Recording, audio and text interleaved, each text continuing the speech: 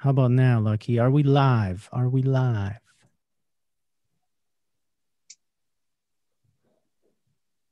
So I don't see it yet. Yeah, now.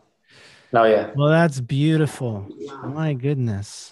Always a bit of always a bit of uh of a question mark with the technology, but it looks like we're happening. People are still filing into our Zoom call. Okay, guys, so let me welcome welcome you warmly. First of all, it's it's actually, you know, it's my first live. So so I'm really excited, you know. I'm really excited because this is the first time that I actually have a chance to interact with the people that I've been working really hard to mentor. I know I I haven't been doing it individually. That would be impossible. But those of you who are inside of my masterclass know uh, or have told me that you feel a certain spirit, you know, and it's not coincidental because I've actually pictured every one of you in front of me when I was putting the masterclass together so that it could be something that you could feel some someone talking directly to you and you know not some kind of a teaching from above that you're not really resonating with. So the call that we're doing today is basically happening in a way that we have a zoom call with our masterclass students. So we have about 40 people 39 people in the call. And then on youtube there are folks who for whatever reason have not yet been able to join the masterclass. And so both of you are going to get to basically ask me questions. And what we're going to do today is I'm going to give a brief summation of the mini course that I gave over the last two weeks. And then we're going to get into the questions. And we're going to start with our masterclass students inside of the Zoom call. And then um, Lucky's going to monitor YouTube to catch some really good questions from there that we will also answer. And I want to take this opportunity right now to introduce Lucky, Lucky Bamba, who's my co-host, my moderator, and part of our Tommy Zee and Co family. Hey everyone. Hey. So and, nice to see uh, you. Also, a warm welcome to a few people from my family who, um, uh, when I say my family, I mean it literally. Like my son is fascinated with YouTube. He's seven years old, and uh, he's eight years old and uh, he said he's gonna watch me tonight. So I'm actually more nervous. I think about my family watching than all of you guys.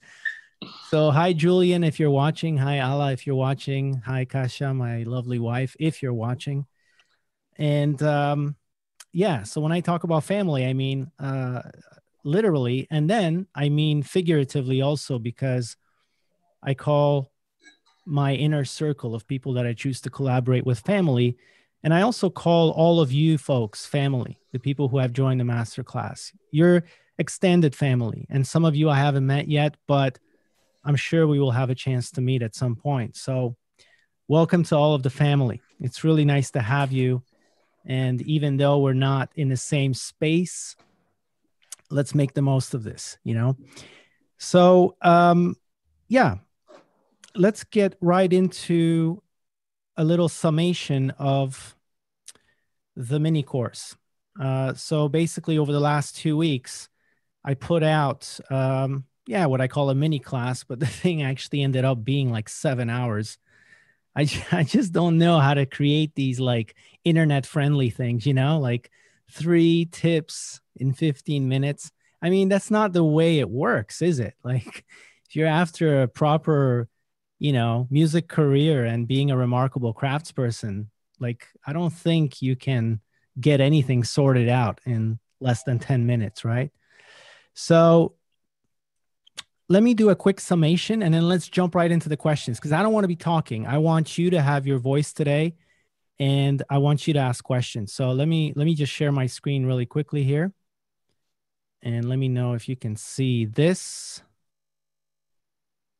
Yeah, is everyone seeing this? Is this okay? Yeah, awesome. Okay, so let's just bring everything together that I spoke about in my mini course, and also my masterclass students will be familiar with it. But if you're not a part of the masterclass, then here's kind of the main takeaways.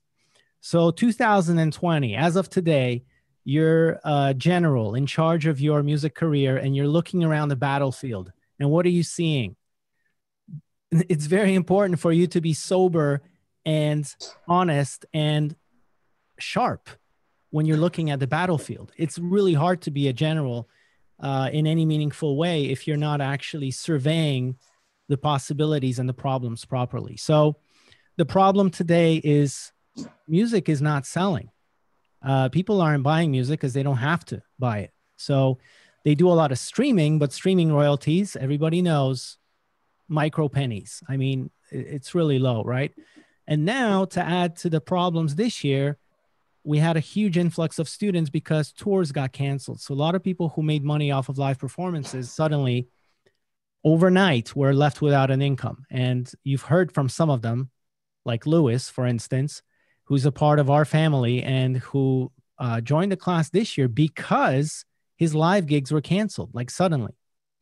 Besides the fact that he was also having a hard time picturing himself oh, carrying speakers in 20 years to his live performance. But that's another thing. So that's the problem that we're facing today. And if you're honest, that that is the problem. But we also have to acknowledge the possibility like, look around everywhere you look, whether it's your smartphone, whether it's your tablet, whether it's your smart TV, you're seeing 24 hours, seven days a week of nonstop content, all of which needs sound. And so I always talk about the fact that Bach, Mozart, Handel somehow made a living making music before there was a record industry. And they did it because they had a mindset shift, right? And this mindset shift, but they didn't have to do a mindset shift. This is just how it was back then.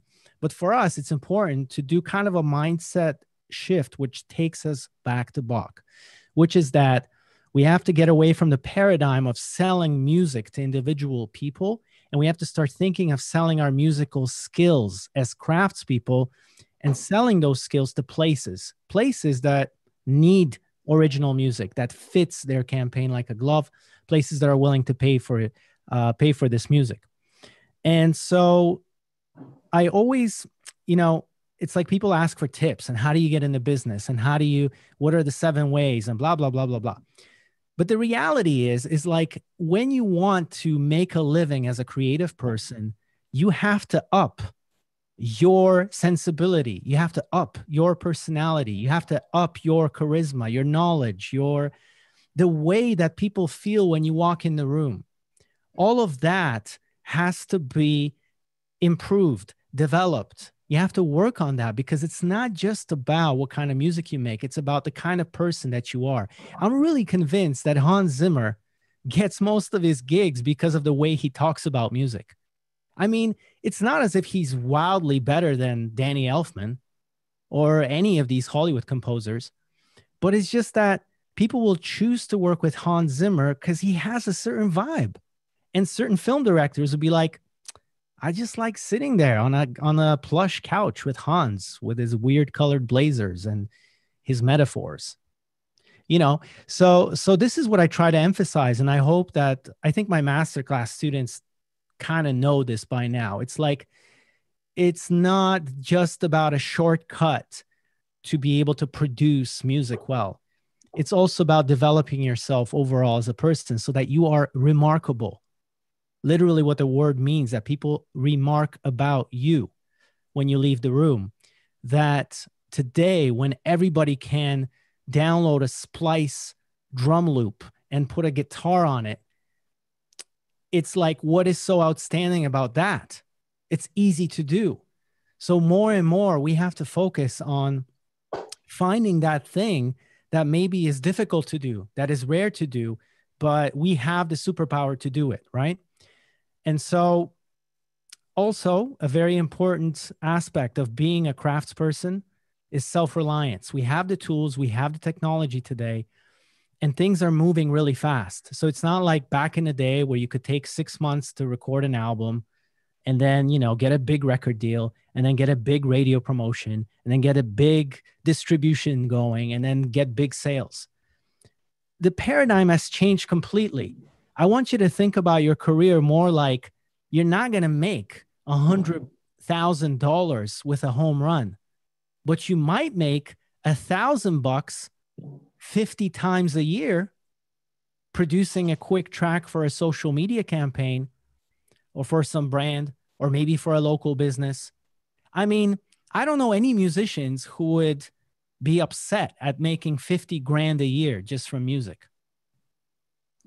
Do you? I don't know any. I mean, so self reliance goes a big way, right? Because we have the tools. There are no more excuses. Back in the day, the problem was barriers.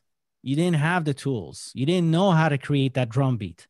I mean, I remember in the 90s, man, whoever had the best CD ROM of samples won. You know, it was like they were the king or the queen because they had those special sounds. Well, today, special sounds, everybody has them. They're on Splice, they're on Noiiz, they're on every VST. And so we have to now figure out a way how to be special, right? Um, one thing we also talked about was the interview, or we we did an interview with Lewis, who's a masterclass student. It's an incredible story.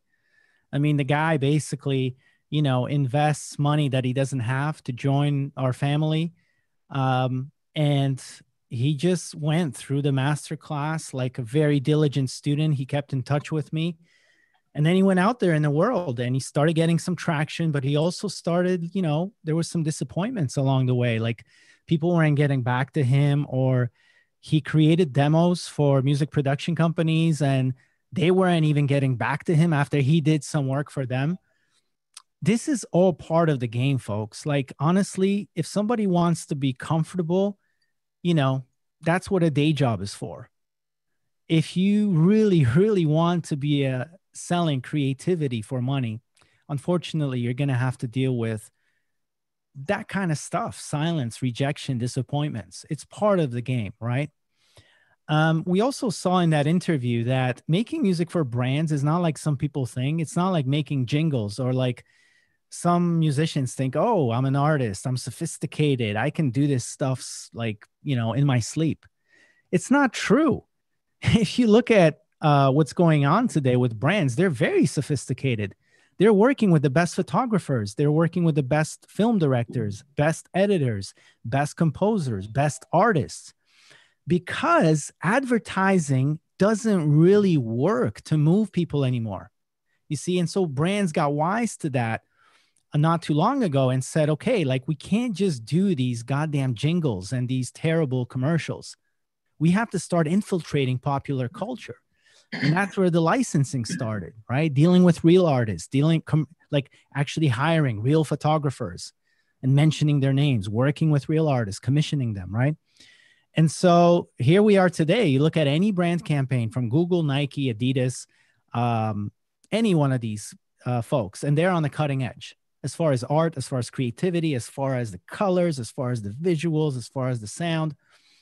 And so, you know, this isn't like making jingles. This is really like elevating your game so that you become a craftsperson who's able to do the things that we observe brands doing because they are the patrons today. They literally have their finger on the pulse. Like, who else has their finger on the pulse today as far as moving humans emotionally? You, you can bet it's brands. Like, if anybody knows how to move humans, it's going to be brands. Okay.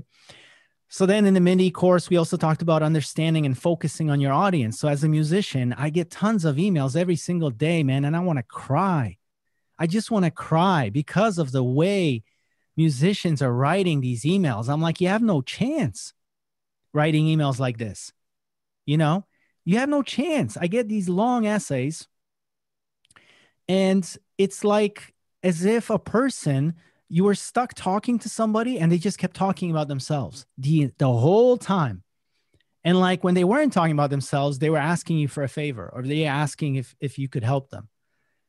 It just doesn't work in interpersonal human relationships and especially in our business because people are so busy and they're stressed a lot of times. So, like a stressed person, like imagine if you're stressed and you're in the middle of the jungle, this is kind of what being like a music producer is like in our business. I'm stressed. I'm in the middle of the jungle. What I'm watching for is survival. I just want to survive this project. Of course, I want to do well, But first of all, I don't want to fail. I, I want to survive this project. And so, what am I on the lookout for? I'm on the lookout for anything that will give me an edge. And this is why I always say to musicians, it's it's a it's incredible how much timing plays a role. Never give up. Why? Because you might be sending emails for 6 months. It might be your 576th email that lands in the right inbox at the right time. Of course, if you wrote it just the way we teach in the masterclass. And suddenly, this music producer who's stressed out and he's in the jungle and he's looking for an edge, a way out, he clicks on your link and goes, Oh my goodness, that's exactly the sound that I need right now. And that's why a lot of people's careers in this business broke suddenly because, like Sean DeVries, we talk about him, or I, I, should say, Sean Christopher. I actually said his real name. I should bleep it out. Sean Christopher, artist, record deal. He uh, he's making music for brands. I work with him for a long time. A man of his talent who's able to be uh, on the same um, label as, and the name escapes me now, Jose Gonzalez. This is the kind of talent this guy has. He sent an email to music production companies and, like, they said, yeah, sure, whatever. I mean, imagine a guy with his talent basically got kind of a cold shoulder and he didn't hear back for a year. And then suddenly he heard back and then watch out. One thing led to another and then led to another and then led to another. And this story, I just keep repeating over and over and over again. Just because like people aren't mailing you back, it doesn't mean anything. You got to keep going because, like I said, music producers are busy. They're just looking for the edge. So, the problem with a lot of musicians is you email these folks who are basically stressed, they don't they have very little time with these long things and they don't even read them because when they see a long email, they just simply ignore or delete right away because it's not what they need right then and there, right? And so even if I'm busy and I get an email that has like three sentences or four sentences and it makes me smile, I might even unconsciously click the link. Do you see what I'm saying here? Because that's the kind of mode that we're in when we're going through emails, right? It's kind of like you're kind of like a robot. You know, you're just flicking, flicking, flicking, flicking, and something interests you, you click on it. And that's that moment when if your music is remarkable enough and your approach is remarkable enough that email might not be enough to give you the job right then and there but it'll be enough for that pro- music producer to say you know what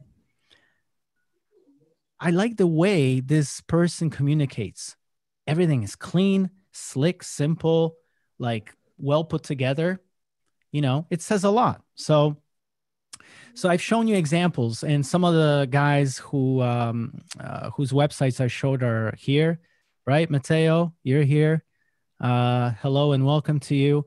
Uh, great example of a guy who just keeps in touch with me. Like every email is full of smiles. You know, uh, he's working really hard. Also, not seeing uh, traction in the beginning, and then suddenly seeing traction, and I'm seeing him like jumping up and down and doing cartwheels.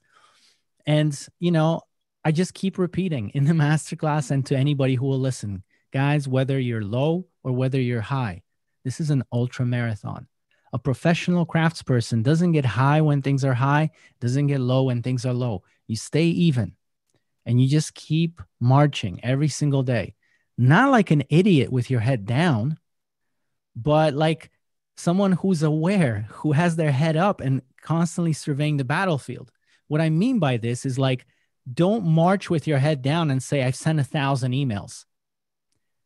If you're not getting any replies after 100 or 200 emails, maybe it's time to look up and pivot and adjust your approach, right?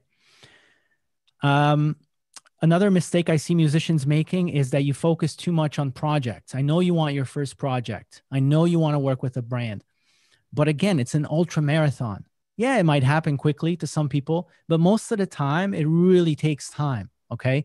And so, and also, musicians tell me I hate selling. I know, I know that feeling.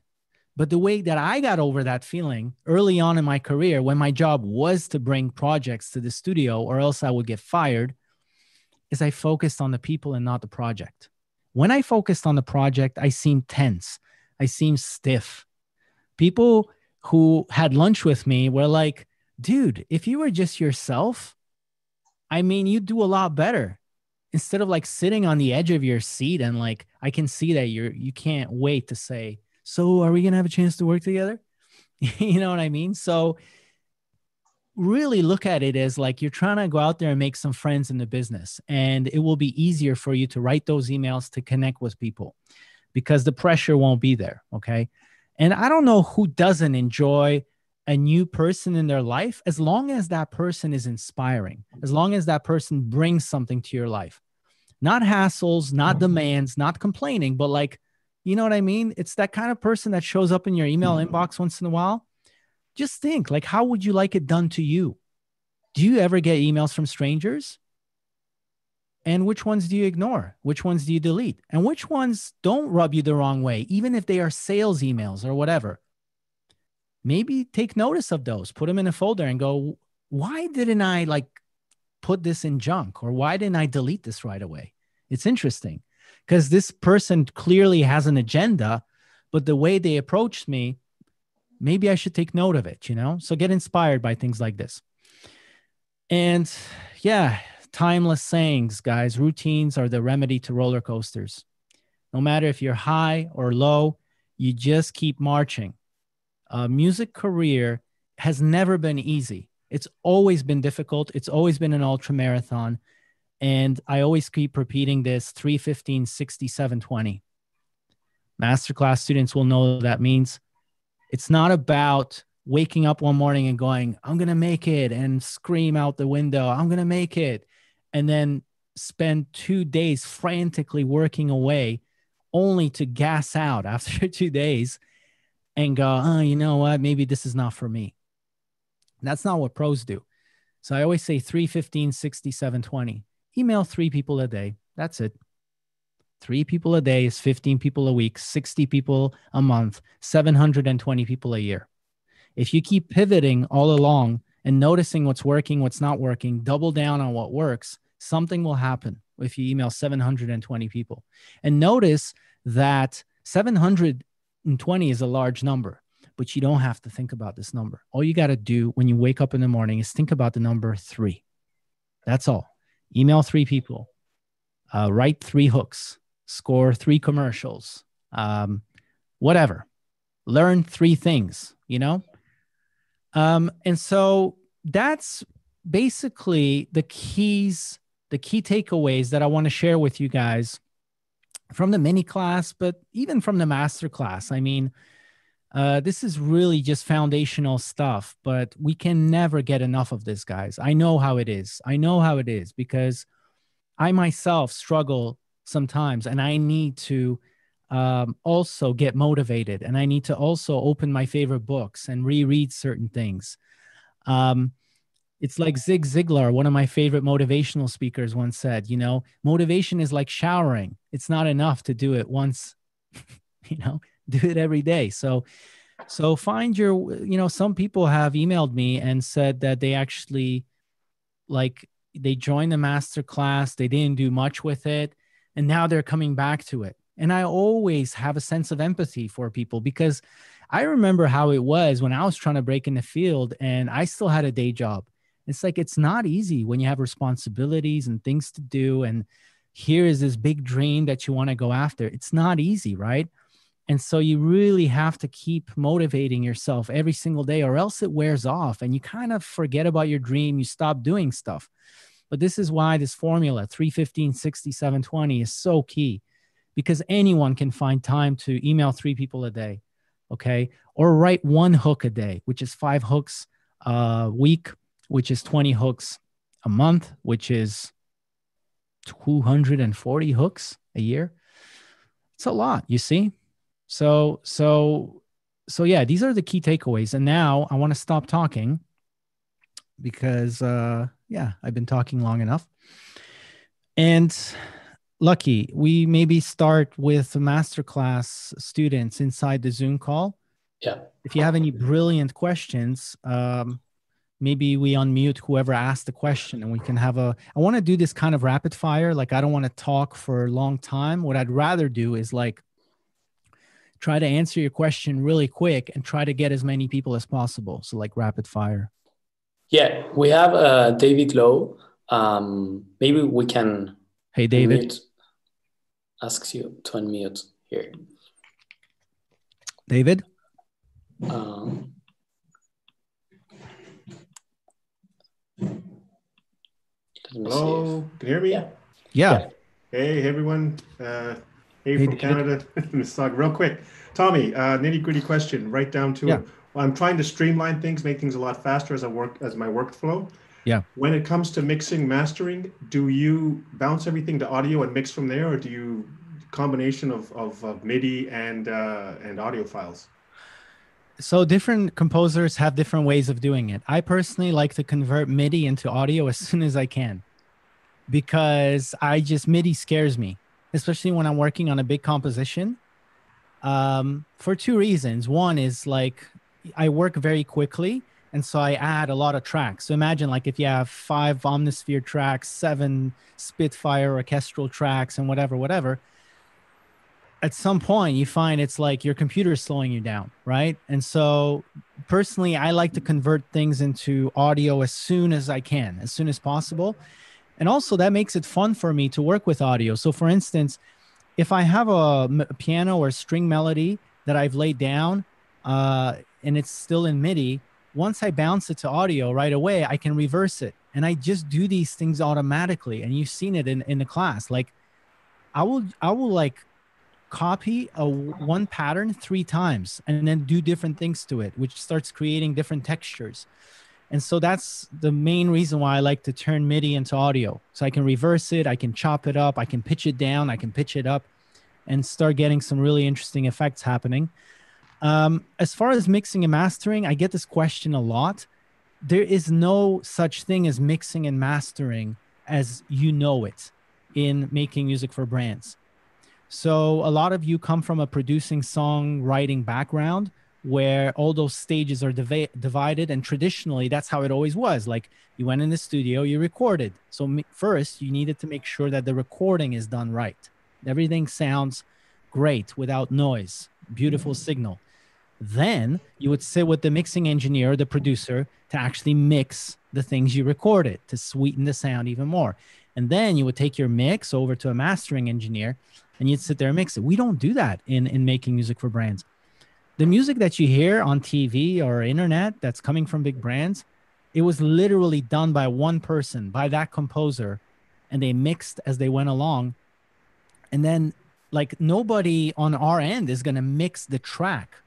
The next mix that's going to happen is the broadcast mix, which means that your demo should already sound good enough as it is. This track, this score, whatever it is and then it's going to get added to a pro tools session at a post-production company somewhere a mixing facility where they will record the actors the voiceover the narrator. They will add the sound design. And then the mixing engineer that's mixing for broadcast he's worried about the entire soundscape your track just being one component of it. He's not worried about the details in your track. That should already sound good. And so that's a skill that's definitely um, something that you need to keep improving at. If if you know because it's it's like when i get emails from composers with the tracks like imagine i'm listening and i go oh my that sounds so amazing. It's like the song itself is not separated from the mix anymore. It's not as if i get a song and go i can't wait to mix it. You know that doesn't happen. Like it, it should already sound exactly the way it's supposed to sound I might have some feedback. I might ask for the splits or the stems to to you know to play around with some things. But but yeah, you should. This is something to learn. And you know, uh, we've been talking about the next steps for the masterclass, uh, what to do. I'm really comfortable with the masterclass and the intention that I had for it, like and what it's doing um, because I've watched people go through it. I've seen what effect it has on people.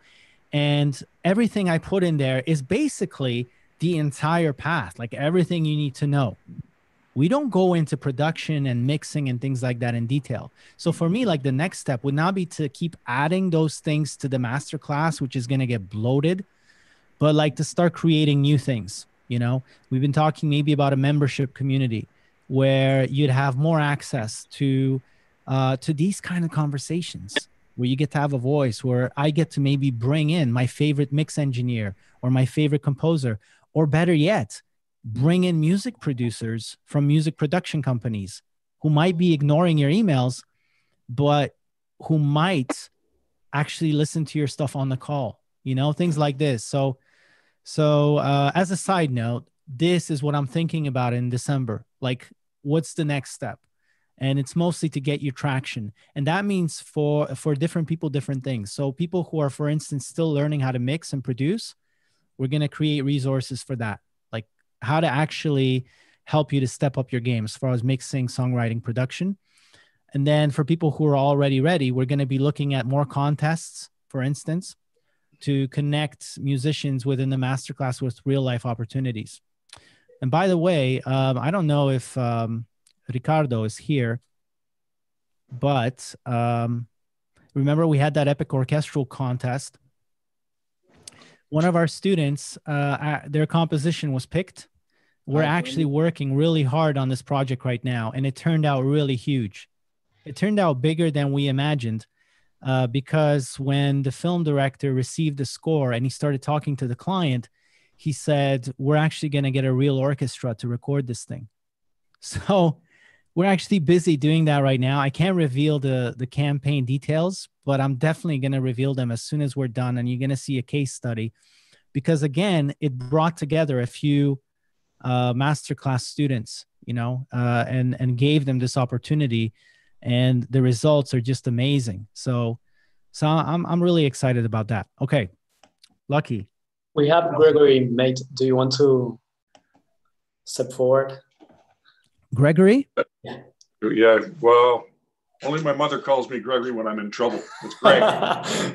You're in trouble, Gregory. What's your pet name, or how do people approach uh, you? Usually either, either Keg or Greg. okay. Greg or Greg? Keg or Greg. Keg has a story, of course, but another time. All right. All right. What's your question, man? Hey, uh, I'm from, What's your question? I'm from Montreal. Uh, I wouldn't send covers to music producers.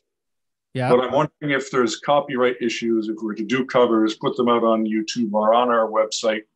Uh, are we infringing on copyright specific? You know, because yeah, that's a kind of a tricky issue because you see that a lot of people in the music business actually, uh, like uh, Han, what's his name? San Holo. I don't know if you guys know this guy. He's like an electronic uh, um, producer from Amsterdam.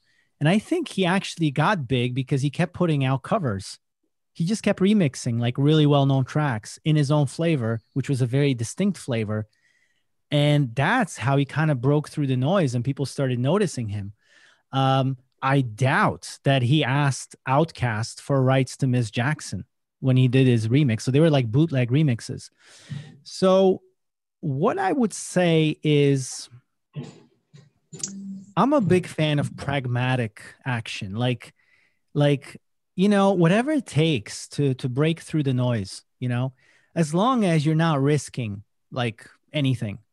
So if you were to write a remarkable cover of a track that's maybe well known or it doesn't have to be new, but like maybe it's in the collective consciousness, and you sent it to me, I would be like, oh man, this is like an amazing idea for to redo this kind of track for a campaign.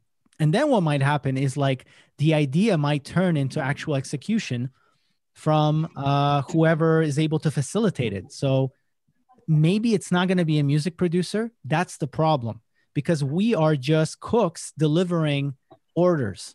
You see what I mean? This kind of idea would probably start at the agency or at the brand. Like if you approach the right agency or the right brand with the right cover and said, "Hey guys, like this track and this remix, you know, is just begging to be in a campaign," then they would actually have more power to to turn it into a project having said this, still, it's not a bad idea to reach out to music producers and attach this cover uh, to them because just by the nature of the magic of that cover, they're gonna be like, "Man, great idea! This this guy, I'm really gonna pay attention to him." And if it's really good, they are going to want to share it on the next pitch they're doing that is right. So they're just going to throw it in and say, hey, yeah, we haven't talked about rights or anything, but like, listen to this thing. It's magic, right? And then heads will start thinking, and an agency will go, so what would it take to license it? And then let other people worry about it, you know? Um, I'm pretty Hey, sure Tommy, the can I step go in? for it. Sorry. Yeah. Yeah, I was just gonna say, uh, Greg. Uh, I guess so. I get in a more practical sense, like uh, you would mostly run into problems uh, uh, just posting cover songs if you're looking to monetize the cover songs Right. that you make, right? So as long as if you're doing it like without like monetization, you should be fine. Um, that like, sorry, I just wanted to throw that. No in. worries. If people are wondering whose voice this is, this is Mateus. Maybe you've seen him from a success story. He actually helped me produce a campaign for Google a couple of months back, and he's also hard at work now, um, dealing with orchestration for this score, for this epic orchestral score, which a live orchestra or a real orchestra is performing. Mateus has to get up at 5 a.m. tomorrow to Yep. oversee the session on Zoom. So I have to be at the session at 5 a.m. You have to be at get up a little earlier than that. yeah, yeah. But guys, uh, Mateus, Mateus. thanks for speaking up because here's uh, Mateus is another person who's actually not like a composer. Like, uh, yeah, he does some stuff, but like he joined the master class as a really skilled violin player. He's actually a doctor of music, so he's got a certain superpower. But like, he's not, you know, he's not going to be considered a, a top composer in consideration to create an original score for a campaign, despite all of his musical background. And yet, because he expressed his very niche and unique superpower, made it clear to me. And then suddenly I had these projects that actually I, I haven't done this kind of stuff like in a long time. And suddenly I get two projects in a row that need orchestral stuff. And what do I do? It's like, yeah, I have a bunch of people in my roster, but I'm trying to hook people up in the masterclass first.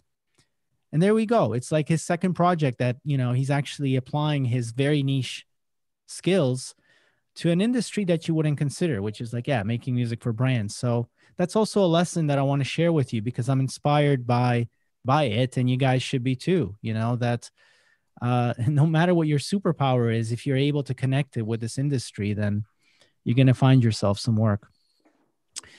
Uh, Lucky, what else we got going on there? In Thanks, Person- everybody. Appreciate it. Thanks, Tommy. Thank you, Greg. Um, so on YouTube, we have people saying hi from many places. That's uh, amazing. Yeah. By the way, everyone on YouTube, I'm gonna get to you guys. You know, it's like we wanna we wanna deal with the uh, the family first. First, we talk to mom, grandma. Then we talk to the cousins. Um. So, but I'm definitely gonna get to the cousins. So we're gonna get to YouTube very soon with questions. And we have Cholet Bergman from YouTube. A quick question: If you are in Germany, and of course, you want to address that, where are you based? Where am I based? So I basically spent uh, 22 years of my life in Toronto. Then I lived in Amsterdam for five years. And then three years ago, I decided to go to the country where I was born, which is Poland. So right now, I basically, um, it's between Poland and Toronto most of the time for me. Um, lately, with this situation that the world is going through, you know, it's like I'm more remote than I am traveling. But before this year, I was doing a lot of traveling actually. So, Amazing. but yeah, Poland, Um, we have Polish I- power. I- Ivo Ivo Thiemann from um, the family Yes. who has a question Ivo- about structuring stuff. Amsterdam, That's- right? Netherlands. Uh, Germany, actually. Oh, you're Germany. I thought. Yeah, Wow, I, why did I think you're from? uh from I'm not sure. I'm actually close to the Netherlands border, so uh, I'm based in Bonn, which is yeah, it's kind of I think the reason is because I know an Ivo in Amsterdam, and so I just assumed that okay. is yeah. Ivo a German or a Dutch name? To be honest, I think it comes from Eastern Europe. People always think, ah, I must be somewhere from okay. like the eastern part, but actually, I grew up here in Germany, so Nice. Okay. Well, Ivo, you're a really talented dude. Like, I've heard your homework. You, Thank you know, you. you're a, you're a crafts person, so it's good to see you. What what do you want to ask? Well, to be honest, when I was um, kind of thinking about a question to ask, it was overwhelming because basically all the answers are in the masterclass. um, so it was Thanks, tricky man. to think about a question. Yeah, But I was just curious about um, structuring the day, like just a casual day, because that's uh, where, where I run into trouble sometimes. Like yeah. I love that a- question. a lot of stuff to do and then i have some some way of of organizing my day and um, for example the google calendar but i was Yeah. curious how you go about it like what what's your way how um, Yeah, I love that question because I'm a big fan of like, you know, engineering um uh not just productivity, but like, you know, engineering a life that you're happy with, basically, you know. So my day is that I try to do what is uh important but not urgent in the mornings. And maybe you guys have heard of this matrix. It's called the Eisenhower matrix. It's based on a past US president. Um, I don't want to go into the matrix right now, but basically, there are things that you want to do that are important, but they're not urgent. And they might be, for instance, getting better at composing music. It's not exactly urgent. Like, nobody's, you know, asking you to do that by tomorrow, but it is important. The problem is, is if you leave anything that is urgent but not important until later in the day and take care of your urgent stuff first, there's a good chance you're never going to get to, to the good stuff, to the stuff that's really close to your heart, the stuff that's important for you. So, my rule is I try to, like, until noon is when I work on the things that will flower eventually and bloom into something much bigger and much more substantial and something that's close to me. So, for instance, making music for brands is not something that fires me up. And I've said this already. Like, I've done, you know, I've done a lot of it. And when I look at my future, I'm like, am I going to still keep making commercials in 10 years? That's not what I see for myself. And so, this master class started as a small seed. Nobody was waiting for it. Nobody cared. And I had to do that work very early in the morning before I get to other things like actually producing projects that that have deadlines. So I find that my brain is freshest in the morning. So before noon, work on creative projects. Uh, that's a rule for me. Um, I don't take meetings in the morning unless they are critical. Um, unless I'm working on a project that's you know for the music production company and I don't really have a choice. But as much as possible, I try not to do calls. I try not to do meetings before noon. And so then at noon, I um okay, so let me tell you my like perfect day. And I, I made a video about this on YouTube. But the first thing I will do is roll out of bed and into my jogging pants and running shoes, and I'll do like slow jogging for five kilometers. Slow jogging, guys. Like you could pass me walking. So like don't think I'm some kind of a yeah, athlete or no. Slow jogging, some Japanese guy invented this thing and apparently it's really good for you because it doesn't put your body into stress. It's um it releases all the hormones in your brain that make you feel positive, good, healthy, all that stuff. Uh, and it doesn't burn you out, which means that you could do 5K every single day, which means you do like 25K a week. Yeah, you're running like a turtle and people might be passing you. But the point is, is you're still getting your heart rate up faster than just walking, right? So that's the first thing I do. Then drop off kids at school, then breakfast then uh, and while i eat breakfast by the way also i do not eat any junk food on my phone. Like no youtubes no garbage no uh, facebooks no tw- nothing fast food e like in my feeds. Um i only allow myself to do that in the evening when my brain is already shutting down and i'm more in consumption mode. But i'm trying not to get influenced already and like have my attention split first thing in the morning. So eat breakfast, I read my favorite news sources, or I'll read an ebook or whatever. then to the studio. And in the studio, like I don't want to open my email.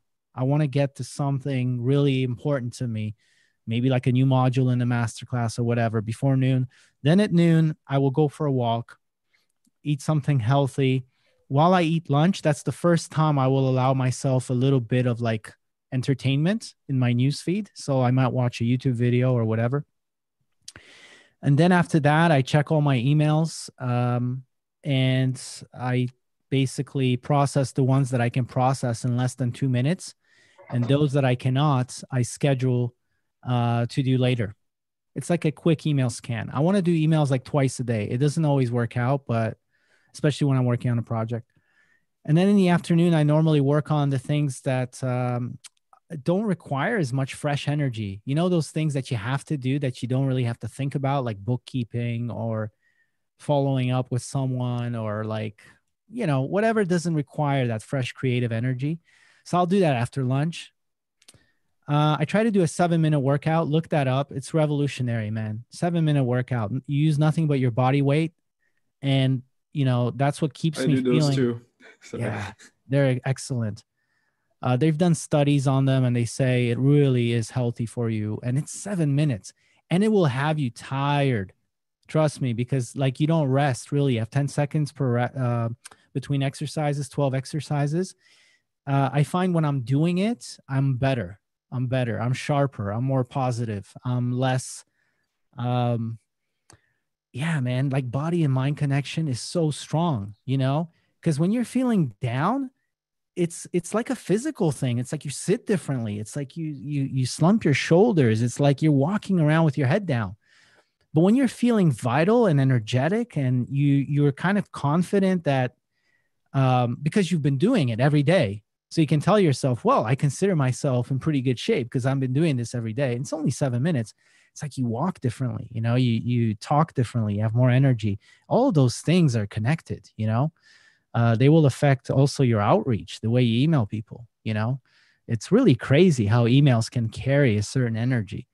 Um, and then uh, after that, I try to do a long walk, an audiobook every day. Like, so what I will do is uh, after the kind of like two hours of menial work, by 3 p.m., I'm ready to to do something else again. So I will leave the studio, put on my favorite audiobook and walk to a cafe that's like one kilometer away. And i just listen to the audiobook get inspired then walk back with my coffee. Uh, and then and then i usually do meetings. Anywhere between like 3.30 and 6 i will do meetings uh, because that's when it's like i'm still feeling i'm not feeling fresh creatively but you know who knows? Like a good meeting good conversation uh, is important to build relationships anyway. That kind of naturally brings up your energy. So, and then I try to be home at six, although lately it hasn't been working. You know, it's like, man, I'm getting home uh, usually like 7 p.m. And, you know, I've been uh, talking to a few friends of mine who are like, dude, you gotta, you know, you gotta watch that. You gotta watch that because right now we're trying to run the music production company and the masterclass the numbers are increasing things are happening on both ends. And uh, you know i'm a sensitive guy. Like i don't like people with like leaving people without an answer. You know what i'm saying? Like i'm really trying to anyone that's been in touch with me knows like I'm I'm I'm I'm trying to put my heart into this and not leave you hanging. But yeah, it's it's like we we're to think about ways in December to like, you know, create efficiencies which allow us to keep serving you and keep uh, giving you value and traction. But uh, yeah, so I don't lose myself in the process and get burnt out. Ivo, that's a long. I mean, man, I feel like wow. I talk too much. Yeah. Thanks so much. Really Thanks. helpful. Yeah. Okay, I promise. Uh, rapid fire now. We have uh, Chris Simpson now. Who is that? Thanks for uh, Hey, uh, can you hear me? Yeah. Um, I was wondering if you have, uh, you kind of answered this earlier um, with what your future plans are, but I was wondering what, uh, if you have any uh, preferred tutorials for music theory or like uh, synth patch design, um, any, anywhere where you go where you find inspiration. Yeah, I'm um maybe I'm not the right person to ask for this because it's funny like even though I've made music for big brand campaigns, I've never actually been classically trained and I've never seriously taken the time to learn music theory. It's like every time I start, it's like I just got to make some music for something that has a deadline. So I just go and do it, you know. So it's one of those things. Um, but the the the people that I enjoy watching, uh, for instance, is like uh, Rick Beato, Rick Beato on YouTube. Mm-hmm. Uh, I really like his stuff, but I wonder, like, is there anyone else on this call, Lewis? You're here. Uh, yeah. You got resources that that helped you with songwriting or music theory or or production? I I took it uh, uh, one uh, two semesters of it in college, and it, has been extremely helpful. But I think uh, Mateus might be a better. He might have more an idea than I do. Well, Mateus has a doctorate in musical arts. We right, but I mean, I think like, he just we need someone below his level. no, but because he does, because he's knowledgeable, I thought maybe he might know some channels because I don't. Could be Mateus. What do you got? I don't know a single channel of music theory. I'm so sorry. I, I I already had so much training in school, um, but uh, I mean, I also I, I feel like I love music theory in general. So I'm also biased. But like yeah. there are like a lot of videos on YouTube. I see some of them like once in a while. I just don't remember like the channel names. Like and people will do like you know those like fast drawing kind of videos. You know where yeah. they're like writing the music and then explaining. Yeah. Um, some of them you are know, really, really good. You know what I would say? I also want to hear from one more person. Uh, Ricardo.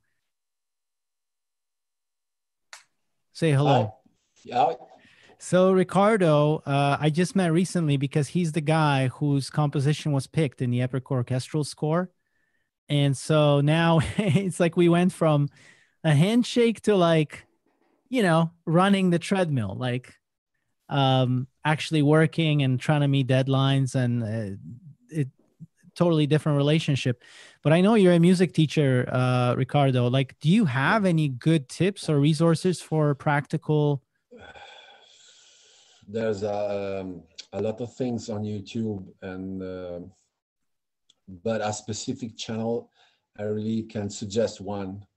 Um, i um, I saw what Mateus says about this fast drawing music, and this is this was cool. This was a cool. This was a cool channel, for, but I don't remember the name. Uh, I really don't. Okay, I have a I have a couple of tips for you guys. But but maybe I don't know if uh, YouTube could could be um, the right place. You know, yeah. there's a lot of stuff and good things and bad things at the same time. Yeah. Uh, there is, uh, let me see, uh, holistic songwriting. So that's uh, Friedemann Findeisen. Uh, holistic songwriting. Look him up on YouTube. I've had a chat with him, and he's a really cool guy. I think I did an interview or like a, a bit of a chat on this channel. He's a very uh, I like him because he's concrete. Like he makes good stuff happen. So, um, but I haven't gone through it, so I couldn't tell you. But let me tell you how I try to improve my production practically. So it's not about music theory for me. What it is about for me is like I pay attention to things that make me feel a certain way. Say I'm watching HBO, say I'm watching Netflix, say I'm watching a commercial, and suddenly there's a chord progression which just oh my goodness it just opens things up. It just takes you to a different place and you're like wow how did they do that? And then what i do is i literally try to find that damn piece of music. I drag it into my ableton and i will literally create harmony. You can right click in ableton and create a melody or harmony in midi from it. And I so do that over, as well. Yeah and so I have in my Ableton now a library of chord progressions, which I yeah.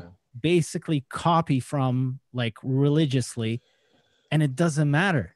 You know, a chord progression is not something that uh, you know. I do the same. I do the same, but with paper.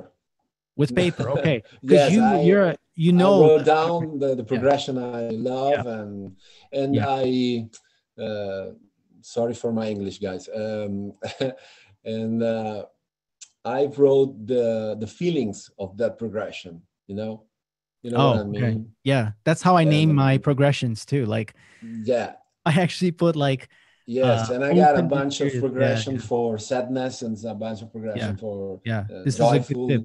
Yeah. Yeah. Yeah. Uh, that's a good one. So I'm practical about it. Um, here, Pascal is saying for mixing, mastering, pure mix is super interesting. A lot of resources. Uh, I remember Lewis mentioning in our interview, uh, Slate, that they have a for members. I guess they have a lot of resources for production. Yeah, they do, but it's it's all production. You're not really going to see anything about theory. Okay. Study uh things um study the masters. Like really study the you know, take Band of Brothers on on Spotify and listen to that soundtrack and understand what Band of Brothers is doing musically.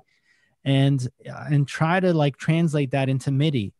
And then um try it with your favorite synths. What I will do is literally take like uh chorales from Bach and uh, there's a tool from um, this guy um, Steve Duda, Steven Duda. I don't know if you guys heard of him, but he's behind the Serum synthesizer, and he has this thing called I don't even know how to pronounce it, but it's like um, it's from a film, I think. It's spelled like C T H U L H U. See if I can C T H U L H U. Anybody knows how to pronounce this thing? Yeah, that's uh, Cthulhu. Cthulhu. Okay. So there's a plugin called Cthulhu, which is kind of like an arpeggiator and a and um yeah, and it like and a chord generator. And within uh, this thing, there's presets from like all these classical pieces, including Bach chorales, like 99 Bach chorales. So what I, what I will do is actually like go through the presets, and every key on your keyboard will then be like a chord from the chorale. So what I love to do is actually connect those chords with like a modern sounding instrument. I I know this is a trick for deadmau5 because I've heard him talking about it. That's how they used to do it. It's like Steve and, and deadmau5 used to sit there and probably extract chords from classical compositions. Because you know, a classical composition will go through like seven things that don't repeat in one measure. But in electronic music, you will just take three of those chords and they'll be deeper and like richer and they'll just give you an incredible feeling. So so I would study things that way, you know, just drag them into your DAW, try to turn them into MIDI and collect those moments and then use them in your compositions. Lucky, I feel like we should move on to our uh let's do a few more rapid fire Yeah. if anyone has a question and then and then we go on to YouTube uh, questions. Okay, we have Omar. Uh, I'm gonna mute you now. Omar Ben Hassan. Omar? Okay. Hi, hi. Can you hear me? Yes, man. We can hear you. We can Happy you. days. Hi, Omar. I'm from Belfast, uh, Northern Ireland. How's it going? Um, yeah, it was uh, it was a bit back now. The question, um, but basically, I was I was sort of saying about when you're doing the reel, okay, and you were you were mentioning basically about different like music houses would come and listen to your reel, but if you happen to have, you know, a varying amount of style of songs how do you kind of tailor your your your reel each time to kind of yield better results so that you're not kind of wasting their time you know by getting you know do, do you know what i mean what I would recommend is like, I mean, ideally you have one reel that represents who you are and you have a certain sound. Um, what you could do is like tailor what you show to different music production companies depending on what you see on their website. Mhm. So what I might do if I was starting today is I like I would go to these music production company websites, check out what are they featuring in their reel, and then create something like it, maybe with a twist, you know? Okay. Um, your, your own twist yeah yeah, with your own Yeah. twist, but but make sure that this twist is still something that is that has a chance to resonate in the commercial world. So it's not like, you know, yeah, my twist is making stuff really avant-garde. That's great, but you know, yeah. it's probably not going to find a home on a commercial campaign. So so I would, uh, you know, when I, for instance, meet with uh, brand people or agency people, I do my research on them. Like um, when I was presenting to like chief marketing officers of brands, I would literally have like interns re- like following these guys around. Where they speak? Did they have an interview lately? Every appearance they've made, I study it. And I try to listen to what they're saying, what their values are, what their philosophy is. And then I'm in a meeting with them and I'm like, you know, I really believe in working in in in, in measuring um one no, how do you say it? Like let's say uh some kind of a quote, right? That they use. So measure twice, cut once. That's the quote. So let's say I, I bring that up in a meeting, like I'm talking or whatever, you know, and I say, I, I believe in measuring twice, cutting once. They'll be like, yeah, me too. You know, it's like they don't realize, dude, I've been researching you for two weeks. So I already know how this conversation is going to go. You see? And they're thinking, oh, we're on the same wavelength. Well, we could very well be, but like, I don't leave that to chance. So the answer to your question is like research who you're going to connect with and see if there's a little flavor that you can find. See if there's something you can do about your reel that will especially uh, resonate with them. You know so that's what i would say. That's helpful. Thank you. Appreciate that. No worries we have sebastian now uh, asking about the epic orchestra um, yeah. Sebastian. Yeah. Yeah hello. Hello everyone. Can you hear me? Hey sebastian. Hello. Um, before i will ask my question i would like to add something uh, related to this uh, um, resources on, on YouTube related to um, music theory and, and so on. Uh, I like to watch videos from uh, Alex Moukala. Uh, he is a guy oh, yeah. create, creating uh, uh, orchestral uh, music. And second one, second channel is from Guy Michelmore. I will put those names in the yeah. in the chat. Yeah. Uh, this guy is like uh, well, very cool videos. And if you would like to to learn some uh, well basic musical music theory, and then mm, this is a, a, a place. Yeah, so. yeah. We might you might uh, people in my masterclass you might see Guy at some point in our masterclass because we've been chatting with him, and um, we're planning to do some things together, which would be really cool just trying to find the right time for it. But I, yeah, he's refreshing. I love that guy. What's uh, what question do you have, Sebastian? Yeah. Okay. So I have a question about uh, epic orchestral music, uh, yeah. or even trailer music. Yeah. Uh, how often this kind of music is used in in commercials, and uh, if a person creating this kind of music can make a living this way? I think so. Uh, so I'll, you know, because it's hard for me to estimate like how much epic orchestral music is going on in the world right now. It's hard for me to estimate. So the best way I can answer your question is do I know anyone who does nothing but epic orchestral music and are they surviving? And the answer is yes. I know somebody like this. Um, they live in in Netherlands. Um, I've worked with them on countless huge orchestral scores. Um, and that's all they do. And they're known as that person. And they're not just doing commercials, they're also doing films uh, and TV series. So, yeah, the the answer is definitely yes. I've seen it. I know of of a man who's doing it right now uh, he bought himself a big house doing this. He has a very impressive studio. Uh, he's just like one of you guys in, in a sense, like in a sense that he's not anyone extraordinary. But what he was able to do is really learn better than anybody else how to create real sounding orchestral music with incredible force using nothing but VSTs. So he had this crazy setup in his house where it's like all these processing units and things like that. And he was, you know, he's a guy who got stressed easily because he cared about quality and people were always asking him to do impossible things. And he's a very pure, like very much a purist when it comes to sound. And so, um, yeah, he, he's like every time I speak to him, he's worried, you know, because it's like, oh, I, I don't know how I'm going to support myself. But yeah, he has a mortgage, he has a house. As far as I know, he's feeding his family. So I don't doubt for a second that big orchestral, epic orchestral, if you do it well, um, yeah, you're going to have a hard time finding projects.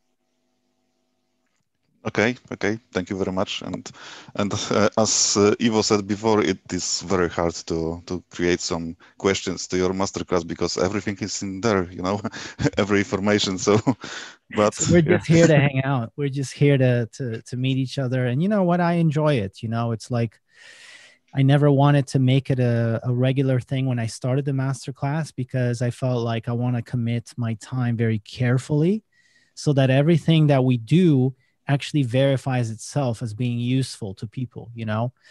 But uh, do i enjoy this kind of in- interaction? Of course i do. So i also want to going forward uh, figure out how to make it you know a more of a regular thing uh, because the masterclass like you said i built it i designed it so that it has every damn answer in there like step by step.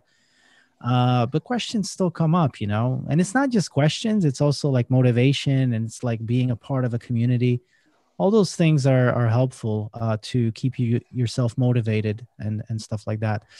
Lucky, let's uh, ask some. Let's get some YouTube um, questions. Well, we have um, we have contemporary music OL who's asking about um, how do royalties work in this business. I'm I'm guessing it's about like the back end of, or if it is like a buyout or.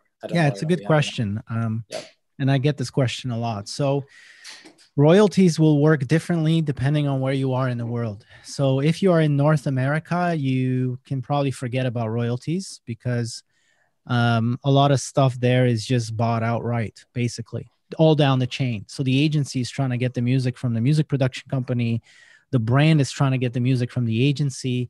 And so normally in North America, you will get paid a demo fee and a final fee, and that'll be it. Um, there might be cases if you belong to a U- musicians union, American Federation of Musicians, where you might have a deal with the music production company that some of your payment is given to you in in credits from uh, American Federation of Musicians. If you're in North America and you're a multimedia composer making music for ads, you need to be a part of American Federation of Musicians because sometimes you might get uh, paid through that and if if that's the case then when the commercial renews you might get uh, some money again if the campaign renews. But royalties i you know as far as i know um, that's more of a case in europe. So places like germany places like netherlands uh, i'm not sure about the uk but uh, yeah eastern europe is a bit worse when it comes to royalties but western europe is quite good when it comes to royalties um, the south of Europe is okay, not so great. Um, so, so yeah, everything depends on the deal you have with a music production company. And I know that if you work with a music production company in Western Europe, they might put it on the table. They might be like, maybe we pay you less in the final fee, but you will make royalties. So, you know, a Schwarzkopf shampoo guys in Germany running for a year straight with terrible music makes the composer rich.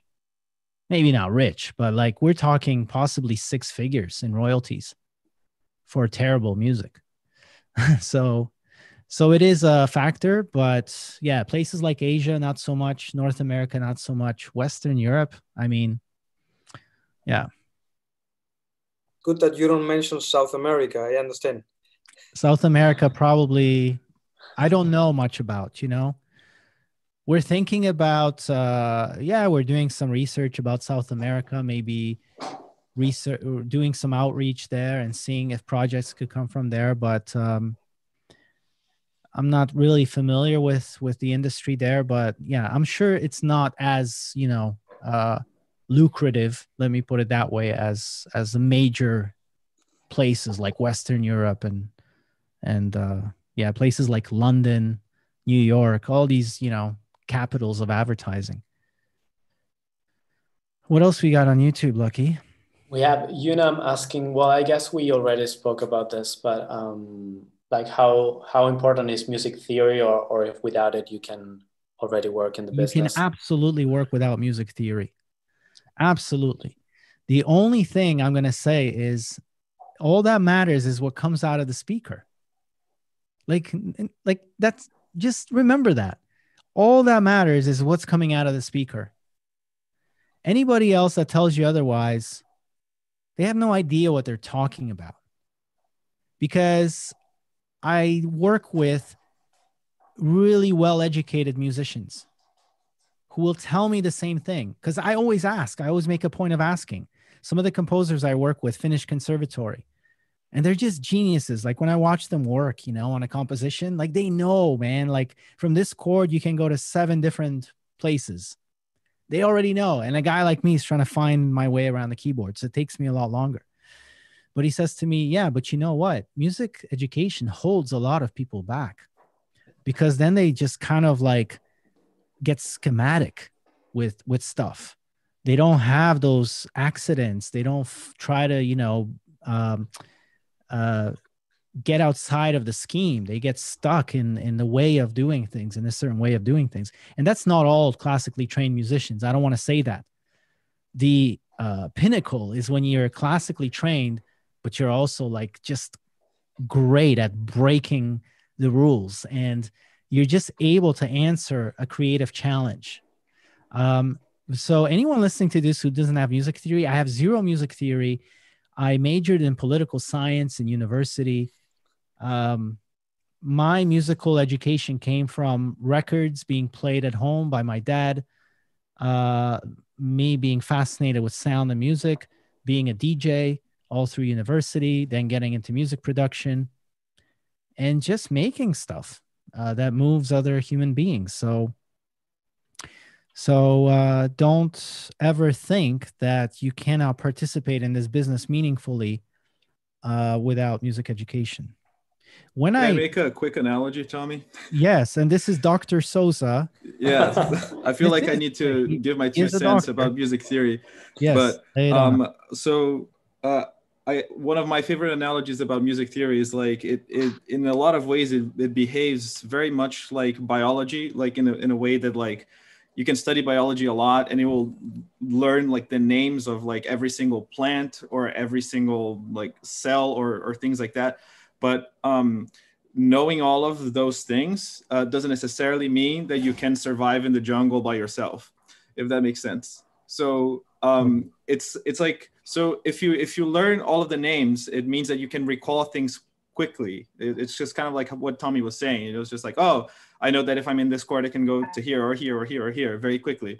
Uh, but you can also just let your ears guide you you know at the same way that like any person who has no biology uh, credentials can survive in the jungle let's say if like, they're like a you know uh, native american native brazilian or whatever you know person. Um, anyway just wanted to make that little comment. Yeah.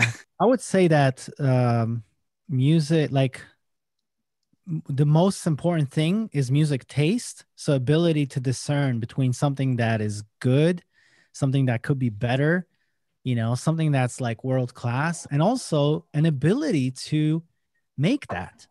Like uh, just remember that before back in the day we literally had to learn music theory because how else would you explain to a musician how to play your stuff? But today you can write the score in your piano roll as midi right? And you instantly hear it. So you know exactly what's going on. So for me the biggest skill to work on would be get really good at creating emotions uh, by practicing, by reverse engineering famous works that made people cer- uh, feel a certain way, and just keep creating stuff, keep getting better at your sounds. Um, um, yeah because like no amount of music theory is going to help you to for instance create a track that gives me goosebumps. So you know music theory. So you understand chord progressions. Great. But you know now you got to actually translate them into the right sound. And that's where a lot of people i notice just go off and they go they they just they just fail there because like their sounds are not up to par. They can't even tell that their sounds are not up to par they think those sounds are good but i don't know what they're comparing them to. So that's something to work on also. It's like develop a world class taste like a great chef be able to understand what makes a great dish and then learn to cook by cooking it, not by reading the recipe, but by cooking it, you know? And it's going to sound bad at first, but I promise you, if you keep cooking stuff and your music taste is good, I, I, I haven't seen a lot of people who don't improve, like who just stay stuck in the, you know, in one place. Lucky, we got any other good? Uh, uh, Tommy, I have yeah. a question. Yeah. I, um, I have a question uh, to see if, if you have re- recognized some sort of like trending like lately this year, like a music trend on the projects that you receive. Like what what is the te- tendency to agencies to request? I'm not a of style of good? I'm not a good example to ask because I mostly work with people who send me more of the kind of things that I already do. Do you see what I mean? So um so I think a good person to ask would actually be like a composer, a freelance composer, uh, like a Narin, for instance, and because he's working with like 30 music houses.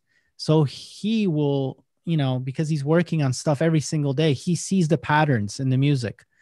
Um, but like recently, I had an interview with uh, um, with um, Asha Ivanovich on the YouTube channel. She's also in the masterclass and she said, you know, uh, what's her name? Billie Eilish was the thing for for a while, you know. But it's it's so broad. Like there isn't just one thing. Think about it. Like the spectrum of the different kinds of sounds is so broad in advertising and multimedia. Like it's so broad, man. You literally have everything from like amazing urban hip hop stuff to like incredible electronic orchestral to like goosebump vintage rock like to jazz you know like sophisticated jazz think nespresso and george clooney they had this kind of like really sultry r&b jazzy sort of a thing going so that's the exciting part about this world is like because the music is meant to move people there are different demographics we're going to see all kinds of briefs right so um, Lucky. We have a we have an interesting question for Yeah. uh, from Brian. Uh, so you're you're unmuted now. Yeah. Okay. Yeah. Um, can you hear me okay? Mhm. Okay. Um, I'm going to try and remember. My connection got a little spotty and I lost Yeah. everything. It, it was about if you have any tips about how to be honest about your own work, which is Okay. Yeah. Thank you. Um, first of all, Tommy, it's great to meet you. I feel like I already know you just from the master class. I feel like I already know you in person, but Thanks, brother. um anyway how do you keep yourself honest about your work i mean it's real easy to get excited about a piece of music you just created you got it mixed Yeah. it sounds good um but how do you keep it honest and you turn it in does that Uh, make sense Yeah. Uh, a few ways that come to mind immediately uh, is AB, AB your stuff. Always AB. Like so, like uh, you know, if you're working on homework in the master class, um, AB it with what went final, and understand like what is the difference between this and that. Your thing doesn't have to be the same, but it has to share certain elements, like a certain sound quality, a certain mix quality, a certain compositional variety a certain evolution. And so A B stuff all day.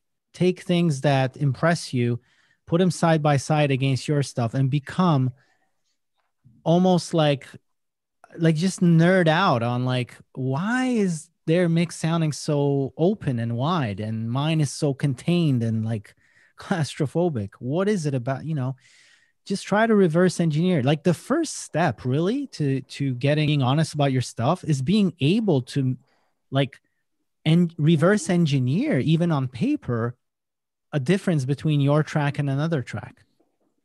Because it teaches you to listen and to come up with a bunch of things that are different and to notice them in the first place. Um, so that's that's the first thing. In our business you know it's kind of funny like i send compositions that i've done that i'm really thinking wow man i did exactly what the film director asked. And then because they don't know which track is mine they you know they don't they're not nice about it. They're like no that was really flat. And so i still get surprised to this day by me thinking oh i thought that was really dynamic. And they're like no it's really flat. Now they might not mean it's flat but that's the problem with language of music is like sometimes you have to interpret what the client is saying. Like what do they mean by flat? You know maybe it's something else but um share your music with people who you know are really good at music and who will not sugarcoat you know? Like the difference between a craftsperson and a hobbyist is that you want to expose yourself to pain. You know think of an old man or think of an old woman with beat up hands in a workshop. Like people think it's like a joy to be a craftsperson. I, I almost think it's not like I almost think it's like a pain in a way. It's just like something you cannot not do. You know, uh, I heard recently that uh, Michelangelo sculpted, started 40 sculptures, uh, sculptures, and finished 14 in his whole lifetime. 14. For, he started 40. I cannot imagine uh, the, his inner state, the pressure, because he was so hell bent on perfection you know? So, like, that's why a lot of people won't make it, you know, because it's almost like music is fun for them. And don't get me wrong, I want music to be fun for us, but it's also okay when it's not because I chose to be a professional craftsperson. So if it hurts, it's got to hurt. How else do you grow your muscle in the gym? By not hurting? Anything that will grow you has to hurt. So I would encourage you to like get in a habit of like reach out to someone who you probably wouldn't reach out to because they're not fun to be around hmm. but they're really good like they're masters at sound or whatever and just go i'm trying to do this. Like what what would you say about it? Am i you know what would you say? And then let him lay it on you and thank him for inflicting pain on you because um if you use it right um it will turn into something great. I don't know if you guys know, but the word passion actually means suffering. Something to keep in mind for all of you aspiring musicians who are facing difficulties today. I think uh, that's what got me a little nervous. And like when I said in my email that I sent you the other day, um, where I felt like I was possibly getting in over my head on this because for the last 30 years, that's what I've been as a hobbyist. And and when I saw the caliber of work just in the in the master class, I'm like, man, I'm gonna really have to step up my game here. So um, yeah, when I when I started the homework, I was like, this has got to be top notch. Yeah, and you know what? In the master class, you there are all kinds of people here. There are people who uh, are just starting to like make music and it's wonderful. I'm glad they actually joined because I think they will get a lot out of this masterclass anyway, even though they're not ready yet to reach out to the industry. They have a set standard to aim for. Uh, and then there are people who are quite advanced at music production. Either way, you should always feel like, man, I might be in over my head. I feel that way every time I get a project. Like, uh, you know, Mateus is going to be up at 5 a.m. tomorrow as we record a live orchestra, making sure that Ricardo's score is actually, uh, you know, being brought to life by these musicians. Um, I don't even know where I'm going with that. I lost my train of thought, but uh, Well, it's a relief to hear you say that even you feel like you get in over your head at times. Yes, You've been doing that's this where a I was going. so- That's where I was going. I was going in that uh, when uh, I just solve one problem at a time. So it's it's my taste and my uh, my experience that allows me to uh, understand that even when I feel that I'm in over my head, every problem can be solved as long as uh, you know um, I commit like a true craftsperson. I commit, and um, yeah, I put all my resources, all my mental RAM toward that. But I don't have to figure everything out. I just have to figure out what's in front of me. Um, and also knowing great people helps. So like you know, knowing Mateus, um, that helped. You know, I would not be able to sit there tomorrow with the orchestra. I'm like a Rick Rubin. I have no idea what's going on. I'm just like a guy with, you know, who's laying on the couch and going, yeah, this works or it doesn't work. That's their Um, loss.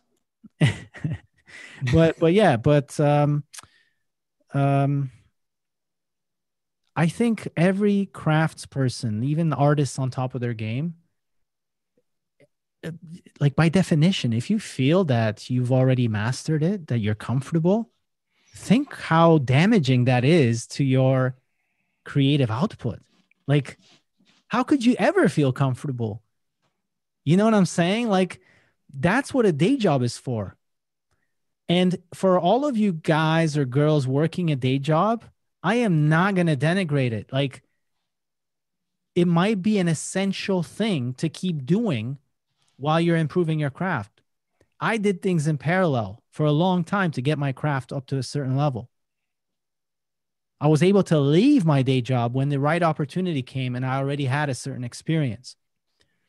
But like, don't, um, what I want to say is like, your day job is for feeling comfortable. When you step in the studio, you know what I mean? It's like if you if you really aspire to be a craftsperson, uh, it's gotta it's always gotta be a bit of a pressure. It's always gotta be a bit of a pressure. It can't go too far either because then you deflate yourself, then you stop showing up. Remember, I told you about slow jogging. The reason mm-hmm. why I do slow jogging is so I do it again. If I ran like other people do, I would probably not run at all because it would hurt too much. So so it's a balance, you know? It's a balance. Lucky, what do you got there?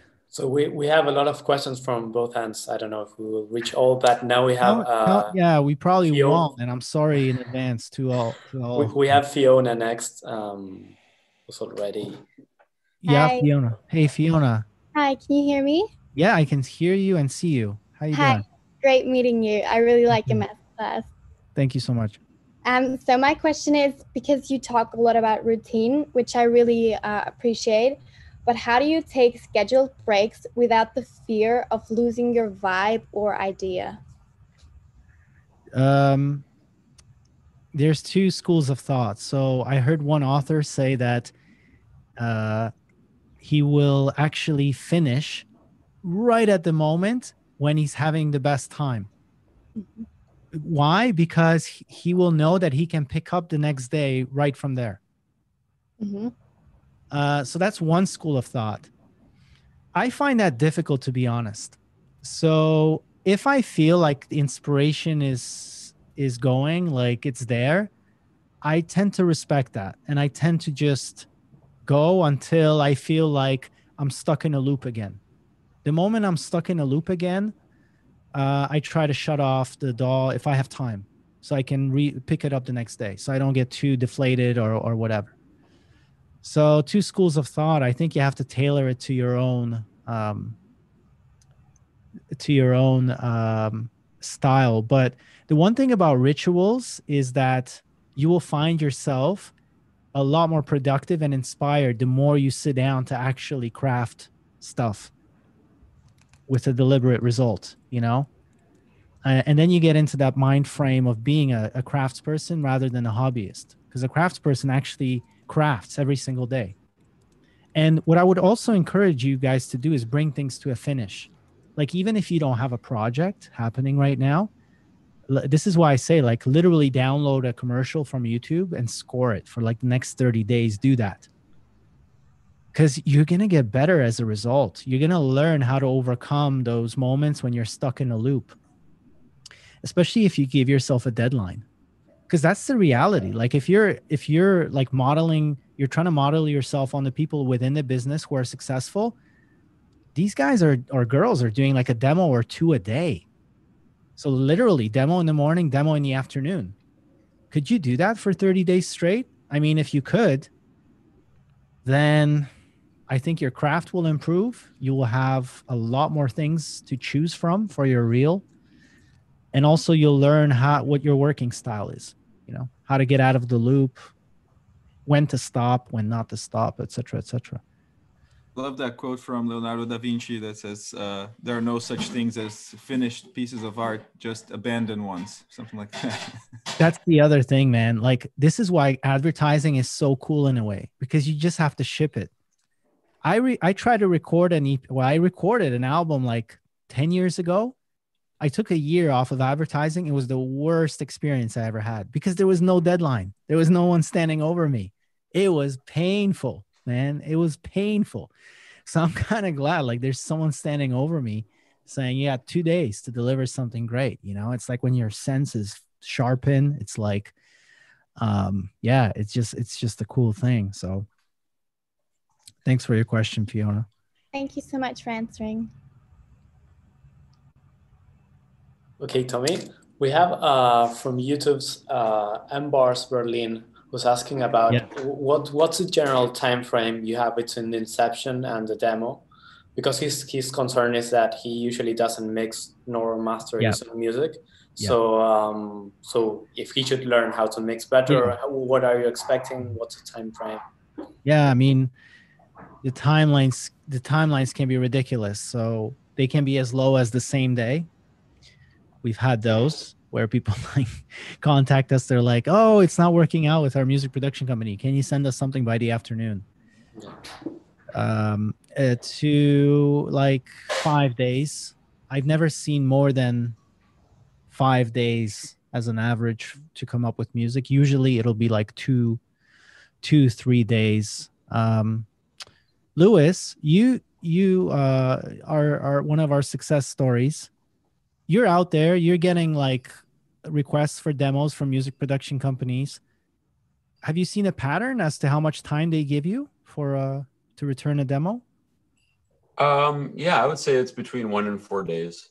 one and four days yeah so i've i've i get this question a lot because there are people in the masterclass who say like i do the composition but i didn't do the mixing and mastering you might not disqualify yourself that way um you know because if you're able to deliver something amazing to me in three days however you do it all that i care about is what comes out of the speaker.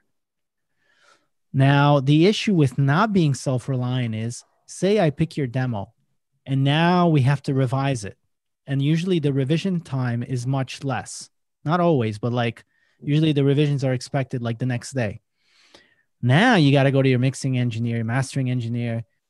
She's busy he's busy now you have a real problem because i just chose your demo but we need to do something to it because the client wants it. Now we're really on the hook and now you're telling me that you can't deliver tomorrow. That's not going to happen you know? So there is no reason not to be self-reliant today. Like there's no reason that someone who's not a drummer can't lay down a drum track using certain tools. There's no reason why you um, can't be self-reliant. Like all of the top folks in our business are self-reliant. So uh, they'll pick up the guitar they'll play piano if they have to. I don't play piano. That includes me. I don't play the piano. But I know how to input the notes and make them sound good enough for the simplistic compositions that I do that still sound, you know, decent. So really strive to be self-reliant because that will go a long way in this business.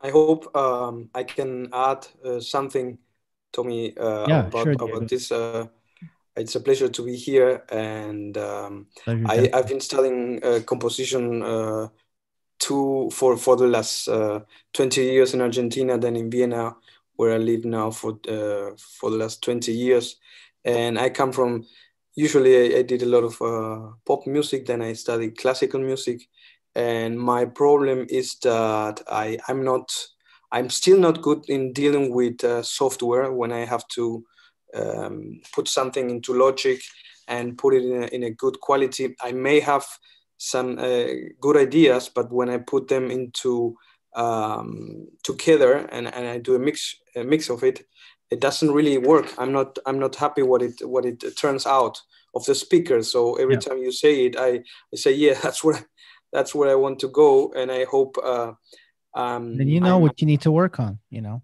Yes, yes, yes. Um, and I I want to say I uh, feel um, it's a honor for me and a pleasure to be with musicians that work uh, with um, a context doing doing music without this uh, um, extra philosophical thing you you uh, give uh, gas to the and stuff to the to the people who are really needing it it and uh, it's um, uh, something that I need to learn a lot, and I hope uh, I'm in the in the right place here.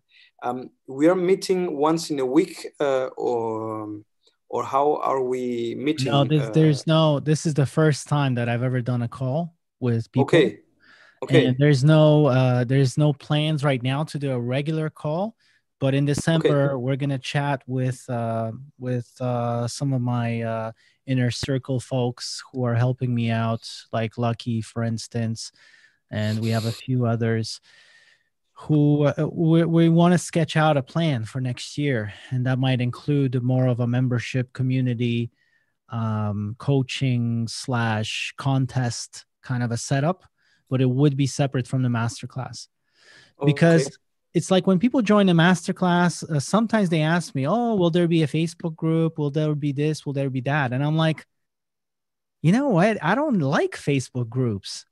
And I don't think you need them in order to succeed. In fact, I would argue that if you just stick to the damn curriculum and do your work within the masterclass, what uh, like what do you need a Facebook group for? It should be like a like a racehorse with blinders on just like focusing on your superpower and the, and the thing in your but having said that having said that i believe the masterclass is complete as a thing that it's supposed to deliver in other words whoever does it religiously from like module one to to all even the bonus stuff and they do their homework and they reach out they should get traction. If they're not getting traction they need to revisit.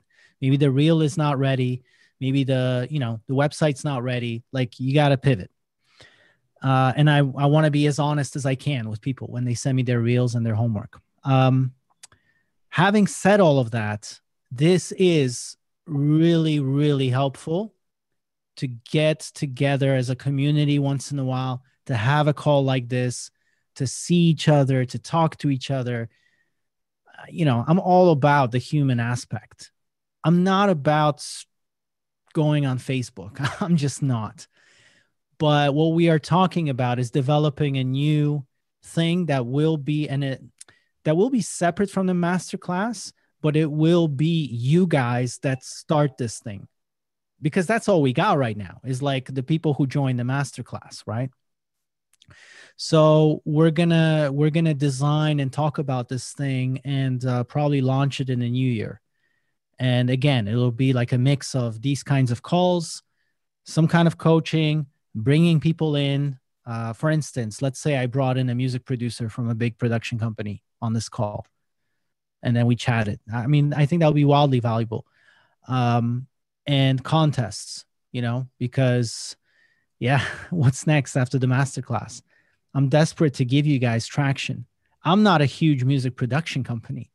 So I don't I'm okay with doing six campaigns a year, but I would love to give you more opportunities. So, uh, you know, we're talking about that also. It's like, how can we give you guys these contests, these real life opportunities where may the best music win? It's not about the damn connection, it's not about someone kissing ass. It's like I received the demos and I passed them forward, and the best demo wins. And um, uh, yeah, I mean, we have our first success story, which is not yet finished, but but uh, yeah, we're working on that now, and you're gonna hear about it soon. So that's our plan for the new year.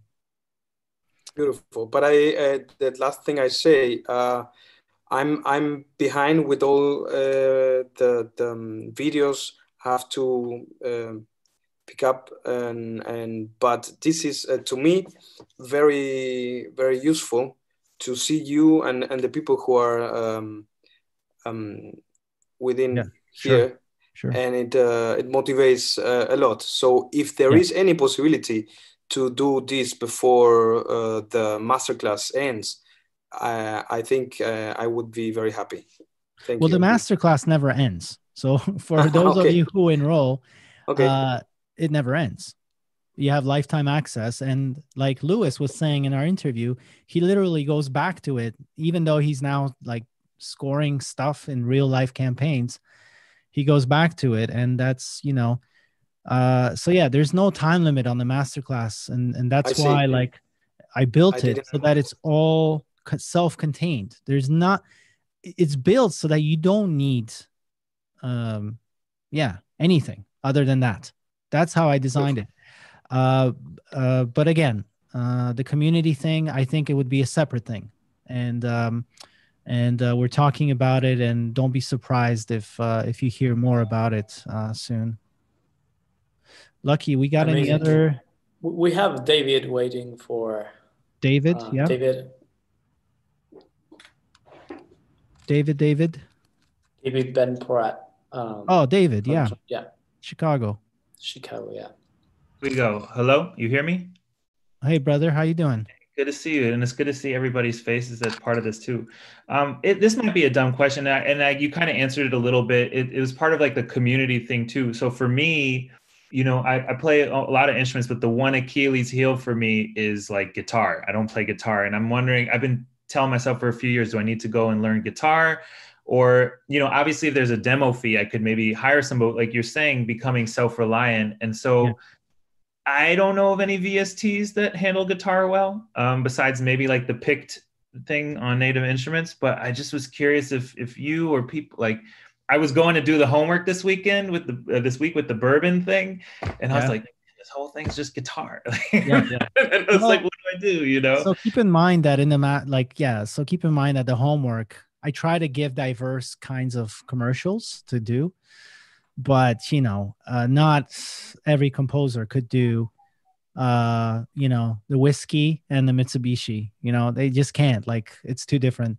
So don't worry too much about it. Like, um, you're gonna be compete. Like Narin studied jazz guitar. He's a virtuoso guitar player. Like, so how long will it take you to catch up to him? Do you see what I'm exactly saying? my point. That's, what that's my point. exactly- Like that's why I talk about the superpower. Like try to narrow in on the thing. Maybe it's that you make uh you know electronic score sound good and minimal and just goosebumpy. Maybe it's that you use uh some weird specific instrument and so therefore vintage tracks that are hard to make with VSTs become your thing.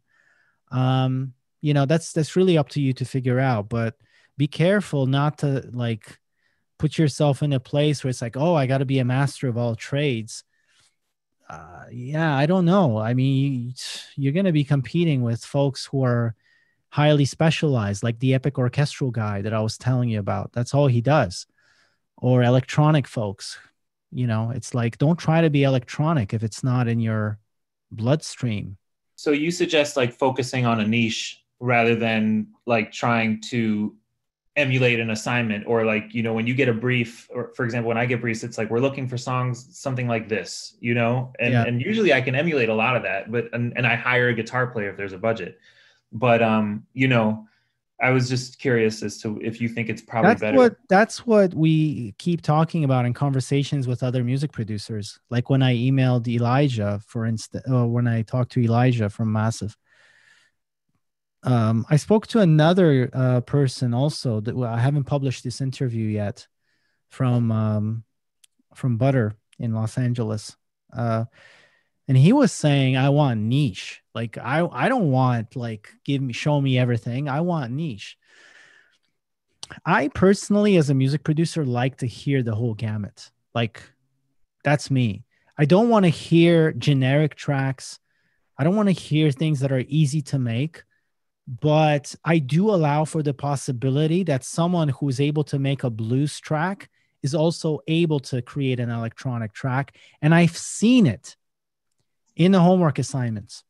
I've seen it. I've seen people like literally being able to do both. But just keep in mind that that's not. Uh, I'll give you an example. There's another duo in the Netherlands. They do a lot of work, these guys, a lot of work. They're doing really, really well. Two freelance composers that are a team. They're certainly not known for playing any live instruments. But guess what? Like when you send them an electronic brief, it's amazing. When you send them an orchestral brief, even, it's like, wow, I didn't know they could do that. But like they're masters at their tools. They're able to use VSTs to, you know, get that commercial sound, that goosebumpy thing happening. So, you know, it's really, you know, and you're going to learn over time what your superpower is as it relates to this business, also. You know, that's an ongoing process, you know. Thank you. Thanks, David. Tommy, do you have time for one more or how? Let's do, uh, yeah, let's do like three more and Okay. see, you know, try to kind of pick the questions that you feel will resonate with most people instead of being like, you know, Yeah. Um, so we have here uh, on YouTube uh, someone asking uh, Brianna Keys uh, about if someone who's exclusively like a singer songwriter, if they can be successful in in in our business. yeah i mean it all depends on what uh, kind of songs you sing.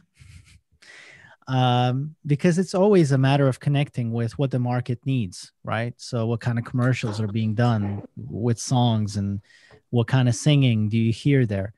But uh, yeah i can tell you that there are singer songwriters who are making a good living from commercials they're not making a great living right now from their artistic career, from their albums and their touring.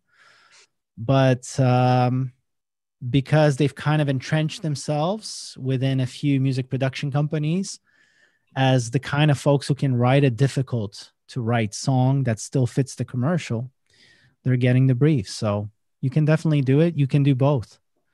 In fact, I would say that um, um, if you're a singer songwriter, I would encourage you to do both. Why am I saying that? Because when I hire somebody to create a song, I want it to sound like it came from an artist and not like it came from a someone who does advertising jingles. I want the soul, I want the depth, but I want it matched the picture. So that skill is very important. Okay, uh, we also have a question. Uh, someone asking if uh, are not producers already like oversaturated with composers or, or Yeah, that's a very good space question. for there's a i mean there's a lot of musicians out there. Because the tools have been made available to everybody yes there is a lot of competition. There is a lot of competition. But you wouldn't believe how many people do it the wrong way you wouldn't believe how many musicians don't know how to email. You wouldn't believe how many musicians don't know how to communicate. You wouldn't believe how many musicians are unreliable. And i still believe that a remarkable craftsperson, someone who shows up on time, who doesn't give up, who keeps emailing the right way, who keeps focusing on people and not projects, who keeps developing relationships, who keeps working at their craft, they're a minority. They're a minority. So, like, yes, there are a lot of musicians out there today, but really, like, how many remarkable musicians are out there?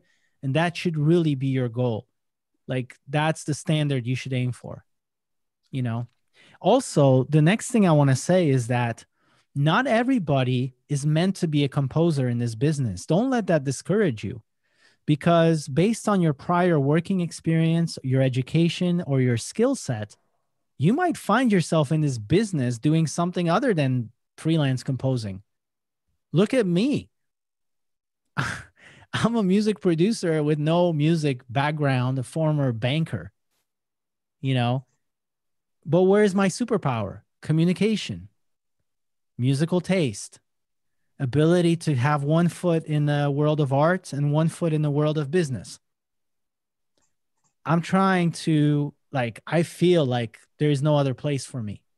I'm at the right intersection, right in between a studio and a boardroom.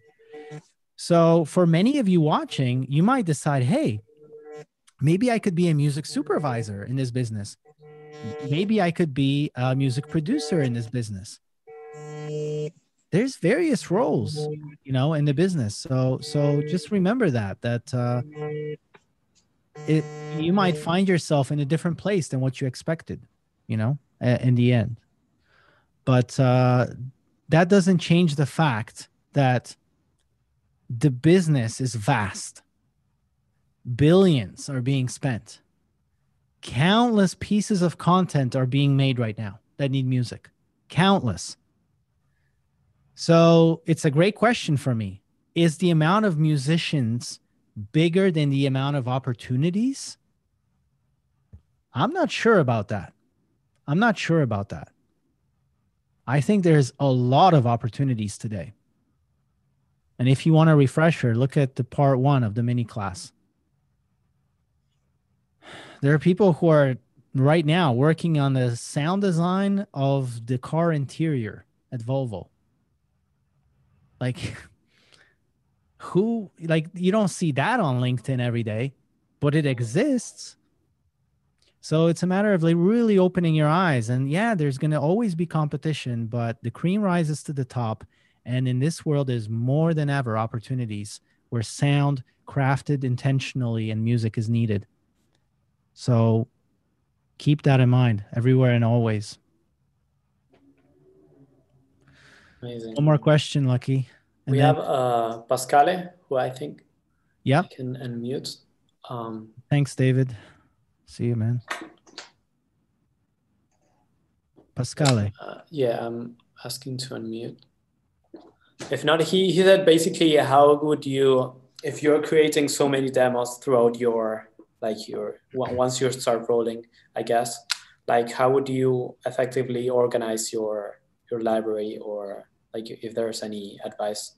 Great question. Because uh, maybe, maybe a project arises, I, am thinking like yes. in a few years and you yes. already composed something that was not yes. successful. How would you? And that's a very good question and a very relevant question. Why is this? Because a lot of top composers in our business are often now being asked for archives because there are very quick projects that are happening for social media, let's say, that might not have the budget of a big campaign. But the brand or the music production company is offering to license your track non exclusive which means that you could still keep shopping your track to other places. You're just looking for the right fitting track and maybe they have a thousand bucks to give you for it, you know, something like that. So I find that more and more this is happening where these quick jobs are happening. So the bigger library you have, the better. And that's why I say to you, like, download 30, 60, 90 commercials. Just keep crafting every day to improve your craft, but also to build your library. And the tools that uh, have been recommended to me by top guys in the business um, are things like Disco. So, Disco is a playlist creator of sorts that allows you to tag and organize your music and then quickly search for it. And apparently, it has all sorts of like fancy functionality. I haven't tried it yet, but we are going to implement this in our music production company to manage our archives. So look it up. It's disco dot AC, I think. Yeah. It's from Australia, I think. Yeah. Yeah, something like that. And look into services like it. But um, but yeah, craft music daily. Um, if it's you know rele- relevant, is if, if it's resonating with the commercial world because you're scoring commercials, let's say, you know, you're not posting them, but you're scoring to them you're going to build up a nice piece of music. And then what might happen is like you're emailing, and then suddenly someone says out of the blue, um, you know, they listen to your stuff and they go, Do you have any more stuff like this? Because I'm actually working right now on something and I need, and then you you search for your stuff and you send them like five tracks. Yeah, here you go, five. And then you know that's how it starts because then i'm like oh wow. Like they were responsive. They replied to me right away. They sent me tracks in really good taste. Even if it doesn't make it that time i'm always going to keep you in mind. So be ready for that you know be ready for for that opportunity. So uh, yeah 10 o'clock i think that's it. I think we should call man like who's gonna you know we're gonna put this on youtube two Two hours hours. again. I'm like you know what? In a way though i'm kind of glad that these things are long because uh, it's the same reason why we didn't have like a support facebook group in the masterclass. It's almost like i want to see who are the soldiers you know? Who's still able to like deliver the homework without like you know having to get together on a call every week um so these long videos on youtube um it's a way of filtering people out. Let's face it like there is no way and now you guys know this because you're part of the masterclass. You've seen how much content there is in there. There's no way to like try to create remarkable craftspeople with these shallow and simple three easy tips. I mean that's ridiculous you know in the past apprentices used to study under masters for like years you know? Well how is this different? We're, we're trying to be remarkable craftspeople you know? We're trying to create music at a world class level. That's why i say it's a marathon. It's not going to be a three month master class it's going to it's going to take a long time you know? For some it will be short. For some it will be long. But yeah it's not an overnight sort of a thing so so guys we're gonna i think wrap it up i really hope that this Tommy, I want to thank you for all this information that you're putting out. I appreciate it. I really, uh, really get inspired by all the videos and all the information in the master class. I'm, I'm still active. I'm, you know, I'm, I'm I haven't sent much more um, of the of the homework, but because family and all that stuff. That, but course, I, it, I always, I'm always connected to it, watching it and taking notes, and and it has helped me a lot. So I want to thank you. really appreciate it And, man Yeah. really appreciate it really appreciate really appreciate all of you guys like uh i want to tell you guys that every single person that enrolls in the masterclass uh, you know i send a welcome email and it means a lot to me because i know this is a different context you know when we're sending an invoice for thousands of dollars to some brand i don't really care i'm not very sensitive to the financial situation of the brand but I am quite sensitive to the fact that uh, everyone that joins this thing is a human being. Uh, it's not, uh, you know, it's not cheap to enroll in the masterclass. In fact, it's going to get even more expensive in December, a lot more expensive, because I've been talking to students, I've been talking to peers in the business, and they're like, this thing is way too cheap um, for what it's offering. So I don't know if we have any people left on YouTube, but you know, we we are actually um, we have a Black Friday offer now. This this will be the lowest that you can get in to the master class ever because in December, like I said, after Black Friday, uh, it's going to be priced at least double of the webinar special that we had for most of you who joined. It's going to be at least double uh, the regular price is actually going to be triple. So, and this is also a way of weeding people out. I want high quality people here. I feel like uh, we have that to a certain degree. Most of you guys showing up here, it's a good family, good DNA, smart folks, enthusiastic folks, thoughtful people. That's the kind of folks I want, you know, um, uh, in the family. In fact, I mean, that's the kind of people I want coming out of this academy because I also have a reputation to protect. So, so, so yeah, um, for you guys, um, really a lot of gratitude. Thank you so much for the trust. You had no idea what you were signing up for when you signed up. Maybe you did, but uh, now you definitely know uh, what you signed up for. And uh, just know that in December, when Black Friday's over, we're to give some serious thought to like what's next um, in addition to the masterclass so that we can do these kinds of things. Build a community be in contact and I can be of service along the way, maybe by bringing other people in to do interviews with, maybe do portfolio review sessions with industry professionals. So you hear it from them and not just me. And also contests. That's going to be a big focus. Um, more opportunities for you guys to actually test your skills. Um, that's it, guys. Really thank you for hanging on. This was a long call, but uh, really appreciate you guys. Um, and uh, any parting words of wisdom? Anybody need to really say something before we end? I don't want to cut anybody off if you're really itching to say something. Grateful to Am I be on? here. Thank you for having me. Thanks, Mateus. You you need to get some sleep because you're going to be up at 5 a.m. tomorrow. Yeah, I'm going to bed right now.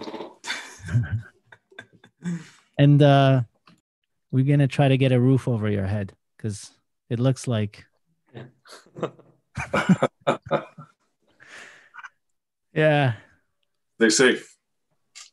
Okay, everybody. Big hugs to you all. Thank you. Uh, Really big hugs to you all. Thank you so much for being here. Really appreciate you all. And um, we'll talk to you soon, guys. All the best. I don't even know how you end one of these things, but there's a first time for everything. Take care, guys. Big hugs to everybody. All right. Thanks, man. Bye.